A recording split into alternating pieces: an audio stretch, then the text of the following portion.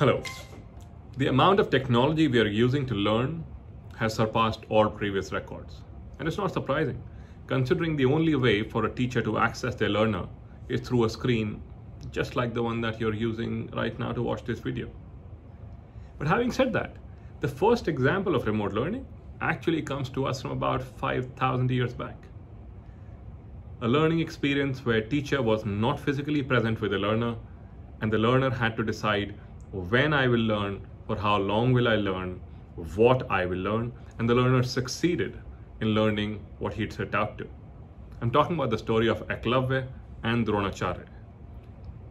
Now, when we fast forward this to the circumstance the child is facing with their classrooms and they're connecting through a Zoom les- uh, a lesson or a, or a Google meeting call, there are some things that we can do as caregivers and as teachers.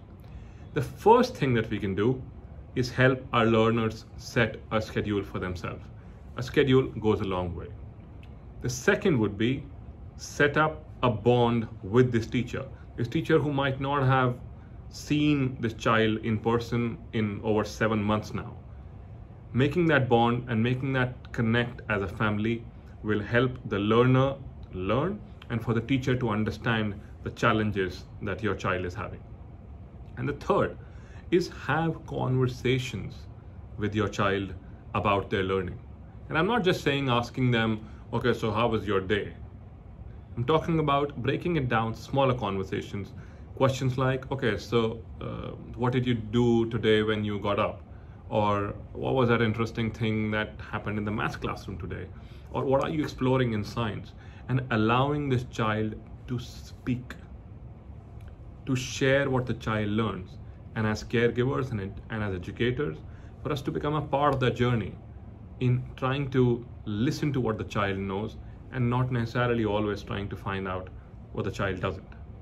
While we hope that uh, the normal times, as we used to call them, uh, come back again, but what we must not forget is harnessing the power of technology.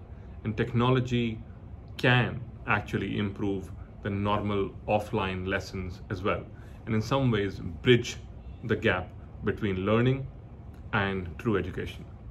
Thank you.